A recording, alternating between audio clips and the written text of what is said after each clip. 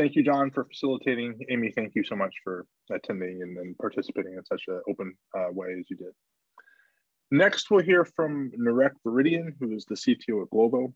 If you are unfamiliar with Glovo, they're one of the world's leading uh, multi-category delivery apps, uh, premium delivery platform operating in 25 countries, uh, a complicated multi-sided platform business that connects uh, consumers to the, the producers.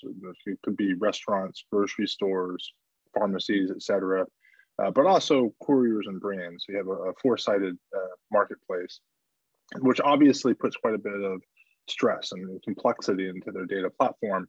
So this talk will explore how Glovo has moved towards a data mesh approach and not just the technology aspects, but looking at the inter team challenges, the prioritization challenges, the complexity of uh, centralized data teams adopting this uh, autonomous domain driven data product mindset uh, and, and how the platform team was able to create self-service capabilities for others to consume. Uh, so uh, let's welcome uh, Narek. Thank you. Hello, and welcome to this talk about data mesh and Glovo and our um, experience so far together. My name is Narek Verdian, and I'm the CTO here at Glovo. I lead uh, engineering, data, IT, and security. Our tech team is uh, primarily based in, in Spain, between Barcelona and Madrid, but we also have a tech hub in Warsaw in um, Poland, and we have a tech hub in Kiev in Ukraine as well. My background, um, having worked at uh, a lot of B2C um, companies, you know, I used to work at matchmaking and travel at hotels.com, uh, Expedia, VRBO, um, has always been focused on um, experimentation, learning, personalization, and has of that is of, of course uh, primarily uh, you know using using data. Um, so I've always had a keen interest on how data platforms can can scale to support it. I've been here at Glovo about uh, just over a year, and our experience with data mesh is roughly about 10 to 11 months old. Um, however, we've coming, we're coming to a point now where uh, we're starting to see data products being built and, and, and the community getting um, pretty happy uh, about that. What is Glovo? So Glovo is a multi-category delivery platform. We operate in about 25 countries right now in Europe, Western Central Asia, and uh, across Sub-Saharan Africa. Um, we started in 2015, Glovo started in 2015 with a multi-category really in a DNA. Right, we have uh, this uh, in the middle on the left, you can see anything. While we support food, gift, pharmacy, groceries, you know, the Glo- uh, Glovo Express does the 10 to 15 minute rapid grocery, grocery delivery. But anything is uh, where you can go and type literally anything that you would like us to fetch, and then our logistics and operations team behind the scenes will figure out um, where we can uh, find that and deliver to you. And like I said, we operate in 25 countries, and they are super diverse. Um, and um, that always adds another level of dimension of difficulty to uh, when you deal with data. So uh, there are really three things I would say that drive complexity of the platform and complexity of data when it comes to platform. One is the multi-category aspect, right? It involves different thinking and different integrations, management of logistics, but also when it comes to data, data itself is represented differently. Um, so that's the first one. Secondly, it's the, like I said, the diverse set of countries that um, we operate in complexity of languages, local behaviors. Um, I recently was on a trip to our, to see our operations in Kenya, and they, you couldn't really compare. Yes, the app is the same, um, the experience is the same amazing global experience, but when it comes to how it's uh, it's working down in on the ground, uh, logistics and, and operations and data, it couldn't be more different, and our platform has to be able to support it. And the third one um, is the fact that we are really a four sided marketplace. We have customers, obviously, that use Glovo um, day in, day out. um, on one side. On the other side, we have partners that we integrate with or they, they um, add their inventory into Glovo. And we have advertisers. This is a combination of same partners who would like to push, um, uh, create more awareness about their, their products. And we also have uh, brands, uh, the big brands that would like to do the same, create, uh, be top of mind in front of our customers. And lastly, is couriers without who our marketplace simply doesn't work. They are the they're, they're the link, obviously connecting customers, uh, customers to um, partners. So this is a game of continuous uh, optimization, continuously uh, figuring out what are the best way of creating shared value for all participants of our marketplace. And we have to continuously be on top, on top of metrics like reliability, efficiency, profitability, and, and, and, and so on. And that really requires a high level of um, high quality and, and trustworthy data. So Glovo grew uh, very rapidly. Uh, we've been in hyper growth for quite some time, growing double digit percentage year over year. Um, and uh, like I said, because it's such a complex marketplace, we right now have data roles across all our business units. You know, we have data obviously in the data team, but we also have data in growth marketing, in quick commerce, in engineering, obviously, and an international team, food innovations, HR, public affairs, and data community is really widespread in a, in, in a company. So why did we have to change things around? Um, the, the, the, the, the problem stems from the fact that, yes, Glovo grew very quickly. Data was dispersed everywhere.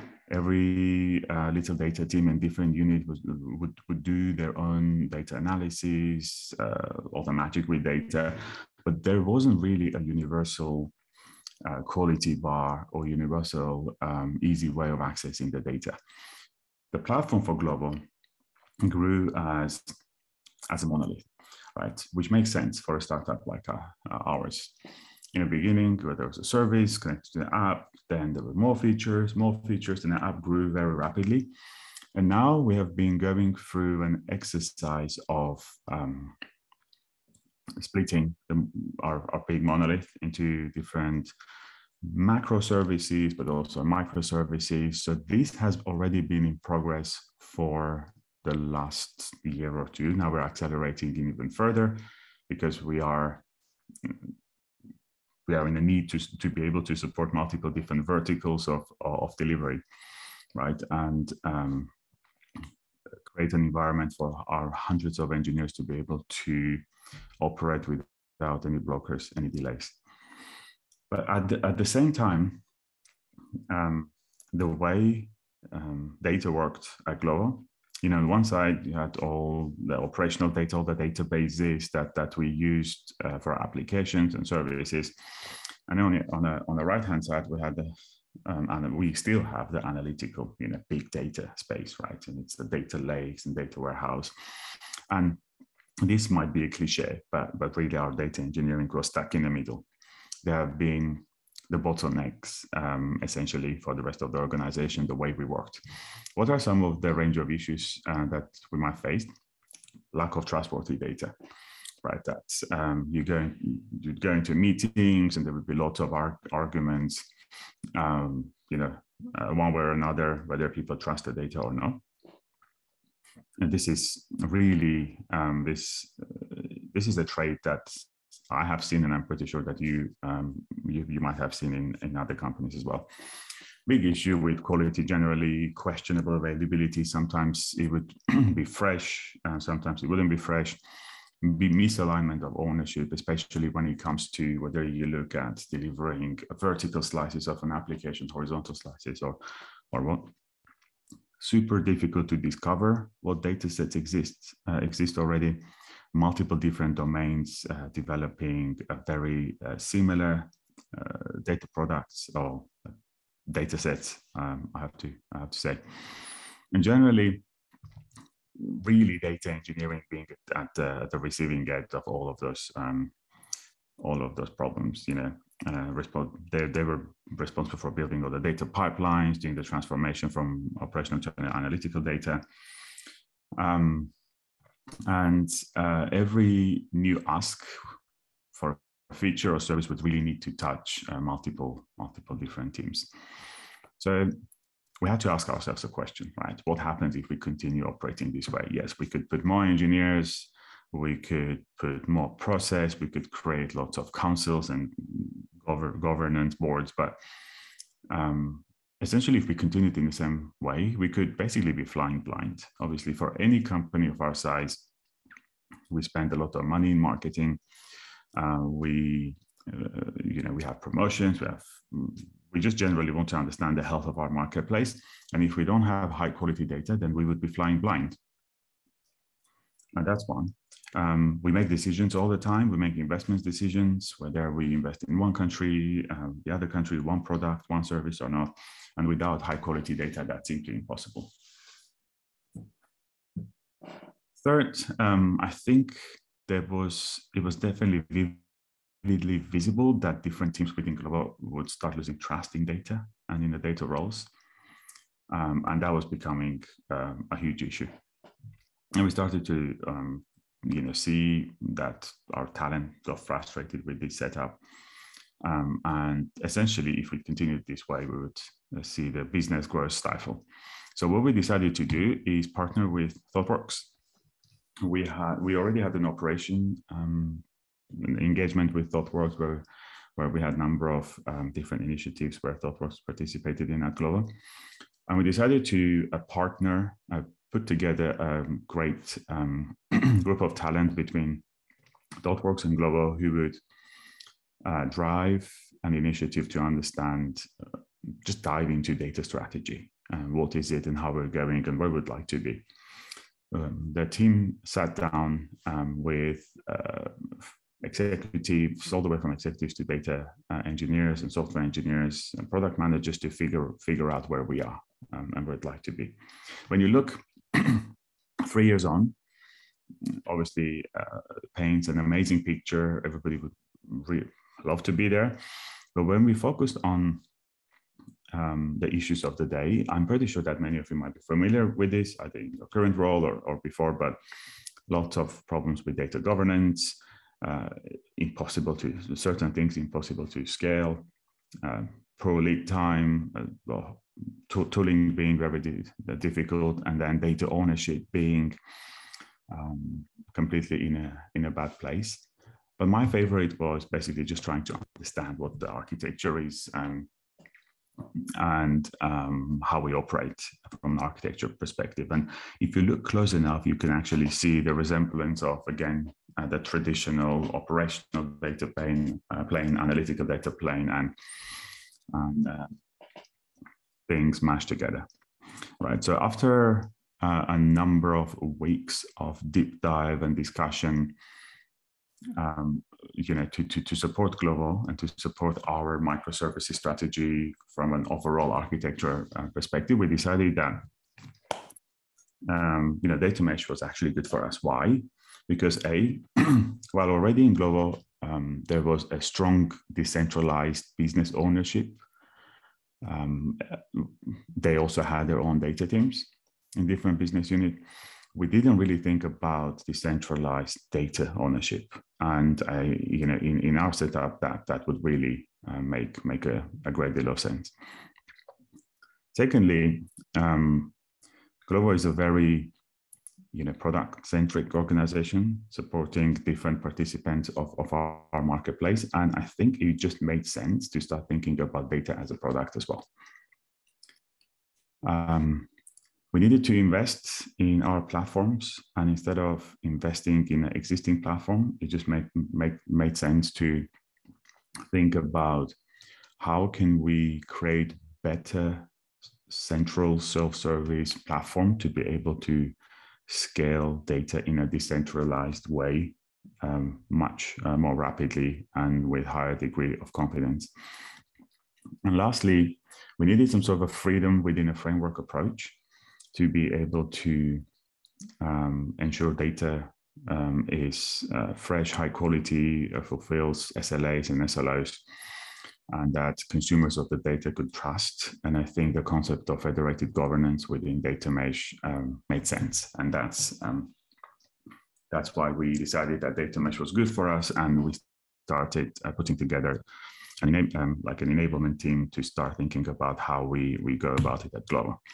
I think the first um, uh, you know, big change that had to happen. You know, like Zhamak, I've um, heard Zhamak mention a number of times. It has to be the shift of thinking that um, data is just not tables anymore. Um, it's uh, it's the data, it's the code that maintains it, um, it's the metadata, it's the infrastructure that um, goes uh, goes with it, and it has to fulfill uh, adhere to a set of rules and exhibit set of traits that that make it fit the right um, intersection of uh, usability, um, feasibility, and, and, and value for uh, consumers of the data product to really uh, want to use it and, and, trust it. So I think the first biggest change in the company had to be uh, around this. Um, it, it's it's not 100% rolled out. As, as I say, we were still between the two worlds. But as we start building new data products, um, it's this way of thinking is, is gaining bigger and bigger momentum within, within Glovo. Secondly, we needed to obviously you cannot just go and tell everyone to build data products if the if if the platform isn't ready. So we had to think about prioritizing. We looked at um, some of the most impactful metrics uh, within Glovo uh, taking into account the interdependencies and defined which one should go first, um, which one should we experiment with essentially, and with this thin slicing mindset. And the most meaningful one to start with, uh, I think this probably you, not unique to us.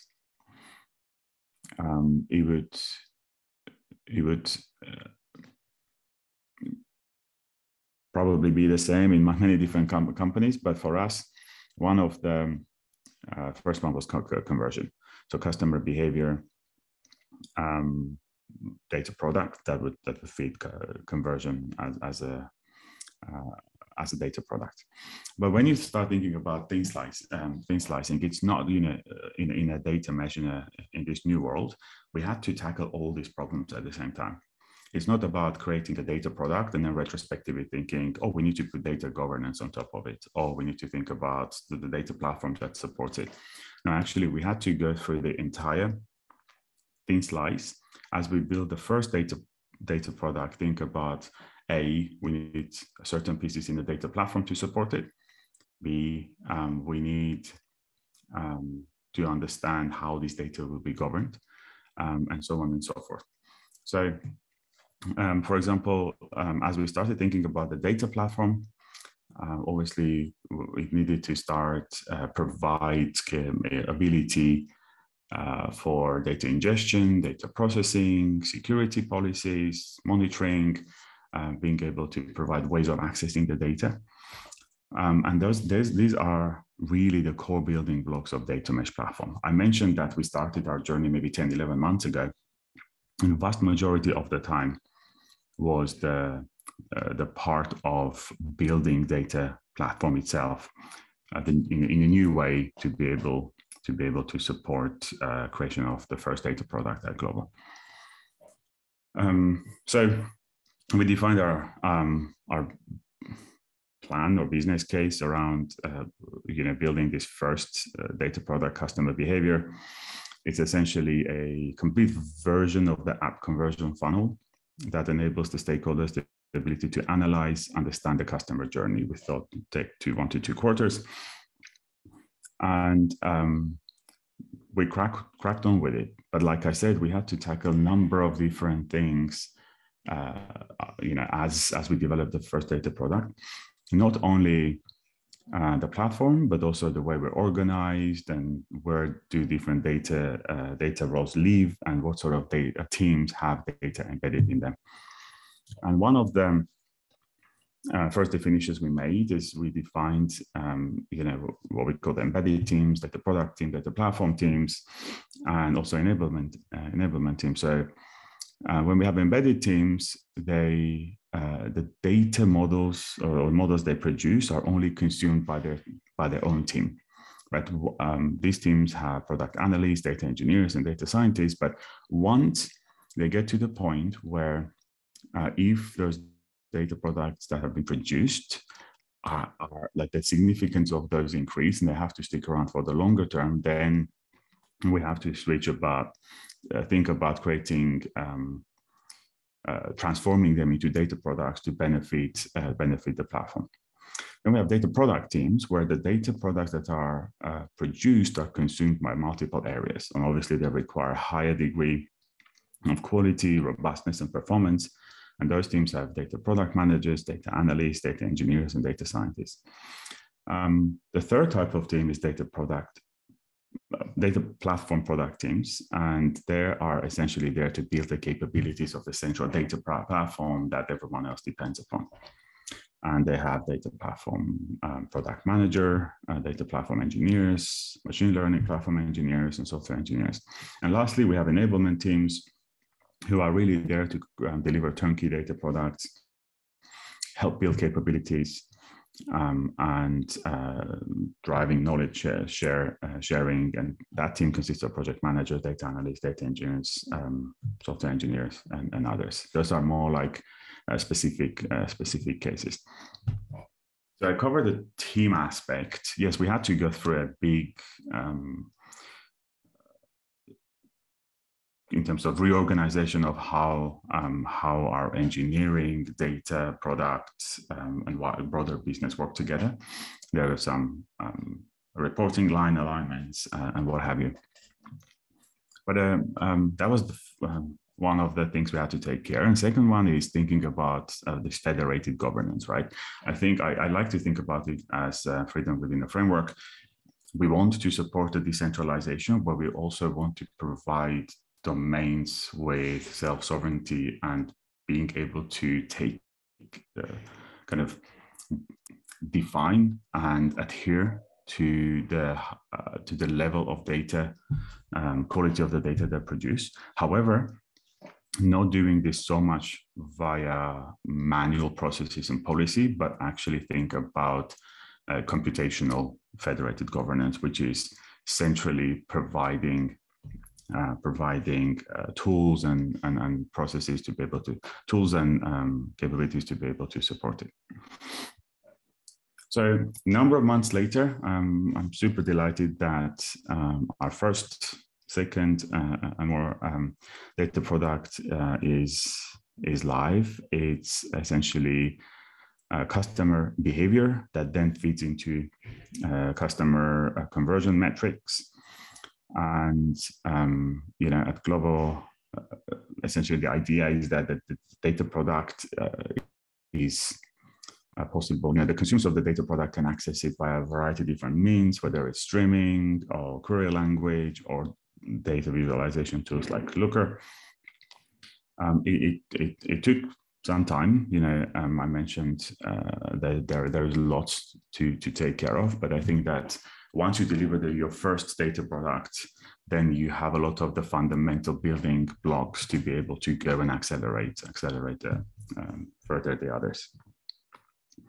So what are um, some of the focus areas going forward? Number one, um, we are building a data product catalog that uh, we will continuously prioritize and make sure uh, you know we deliver over the next two years.